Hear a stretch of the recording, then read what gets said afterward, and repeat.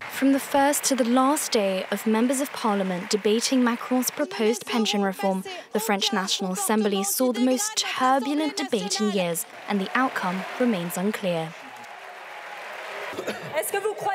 Do you think we're going to spend 15 days like this in the chamber? MPs had 10 days to examine the bill, but tensions were evident from the beginning as members of parliament are divided on the reform which aims to raise the minimum retirement age from 62 to 64. Debate was paused after France unbowed MP Thomas Portes tweeted a picture of him standing on a football with a photo of the Labour minister's head on it. The move led to his exclusion for 15 days. Seven days in, the French Labour minister was targeted again by another France unbowed MP.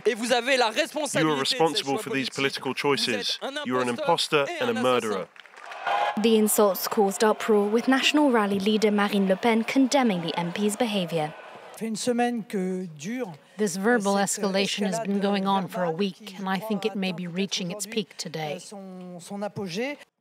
On Thursday, lawmakers debated amendments related to Article 2 out of the 20 articles in the bill. The legislative process could last several weeks, and with thousands of amendments remaining, it's unlikely if they will reach Article 7, which allows the change of retirement age from 62 to 64. The Assembly's deadline is Friday evening at midnight, after which the pension bill will move on to the Senate, whether or not the lower house has completed its debate.